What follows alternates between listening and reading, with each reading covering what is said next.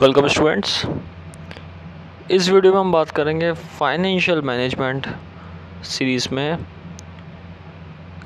Objectives of cash management इससे previous video में हमने बात करी थी कैश मैनेजमेंट क्या होता है कैश मैनेजमेंट का क्या मीनिंग है। इसके both sense narrow sense and broader sense के बारे में हमने बात करी थी। इस वीडियो में हम ऑब्जेक्टिव्स को कवर करेंगे। कैश मैनेजमेंट के क्या क्या ऑब्जेक्टिव्स है? क्यों करा जाता है कैश मैनेजमेंट किस ऑब्जेक्टिव को लेकर करा जाता है? वो आज हम यहाँ पे बात करेंगे। सबसे पहला ऑब्जेक्टिव है to make payment according to payment schedule यानी कि पेमेंट करना अकॉर्डिंग टू पेमेंट के टाइम पीरियड के बेसिस पे। पेमेंट का रूटीन बनाना। फॉर एग्ज़ाम्पल अगर हम इसमें देखें कि एक कंपनी है, एक इंडस्ट्री है, और उस इंडस्ट्री के अंदर जो लेबर वर्क कर रहे हैं, उन लेबर का टाइम टू टाइम या तो डेली बेसिस पे, या वीकली बेसिस पे, या फिर सैलरी बेसिस पे, यानी कि मंथली बेसिस पे अगर हम दे रहे हैं तो उसको वेजेस का एक पर्टिकुलर टाइम पीरियड रहता है कि उस टाइम पीरियड में वो चीज़ वेजेस के फॉर्म में उनको देना। कि सेवन्थ डेट को हम यहाँ पे पेमेंट कर रहे हैं, किसी भी लेबर को, किसी भी एम्प्लॉय को सैलरी के फॉर्म में वेजेस सैलरी के फॉर्म में, इस तरीके से हम एक एक्सपेंसेस मीट करते हैं। Electricity bill time to time देना। सैलरी टाइम टू टाइम देना। टैक्स का पेमेंट टाइम टू टाइम करना।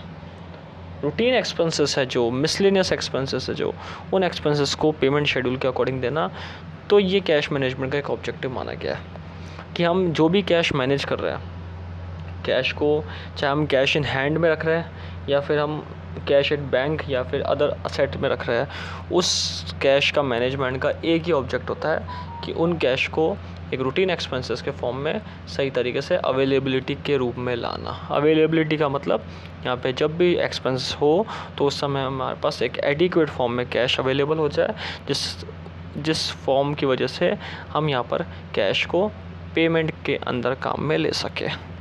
So firm needs cash to meet its routine expenses including wages, salary, taxes, etc. That is an example दे रखे हैं जिसमें routine expenses को पे करने के लिए यहाँ पर कैश का पेमेंट करा जाता है इसलिए कैश मैनेजमेंट एक गारंटी देता है कि फर्म के पास सफिशेंट कैश है जब उसके एक्सपेंसेस या उसके पर्पसेस कंप्लीट करने का टाइम आए तो उसको कैश की अवेलेबिलिटी मिल सके या कैश उसके पास हो। सेकेंड है टू मिनिमाइज कैश बैलेंस पहला तो हो गया यहाँ पे to make payment according to payment schedule and second है टू मिनिमाइज कैश बैलेंस यानी कि कैश बैलेंस को मेंटेन कर सके। एक्सेसिव कैश और कैश ना होना, दोनों ही यहाँ पे या तो एक्सेसिव कैश हो या फिर लेसर कैश हो, दोनों यहाँ पे एक कंपनी को परेशानी में डालने का काम करता है। That is a excessive cash में अगर देखा जाए तो ज़्यादा जल्दी पेमेंट करता है। ज़्यादा कैश होगा तो पेमेंट ज़्यादा होगा। और कैश की जब ज़रूरत होगी तो अवेलेबिलिटी यहाँ पे डेंजर जोन में आ जाती है। तो यहाँ कैश मैनेजमेंट क्या करता है? एक प्लानिंग करवाता है कि कैश बैलेंस को मिनिमाइज़ यानी कि मेंटेन कर सके। कम भी नहीं हो और ज़्यादा भी नहीं हो। दैट इज़ यहाँ पे एक ऑब्जेक्ट रहता है। So the excessive amount of cash balance help in quicker payment. But excessive cash may unused remain unused and reduce profit profitability of a business ज़्यादा कैश होना प्रॉफिट को कम करता है। उसका मिसयूज़ या अनयूज़ होता है या फिर ये हो सकता है कि जल्दी जल्दी पेमेंट करना ज़्यादा कैश आने की वजह से और सरप्लस कैश में यहाँ पे इन्वेस्टमेंट भी आ, पे ध्यान कंपनी नहीं देती और वहाँ पे उस समय क्या करती है कंपनी अपने पेमेंट अपने खर्चों को ज़्यादा बढ़ा देती है। तो खर्चों को कम करने के लिए यहाँ पे ज़्यादा कैश भी नहीं होना चाहिए।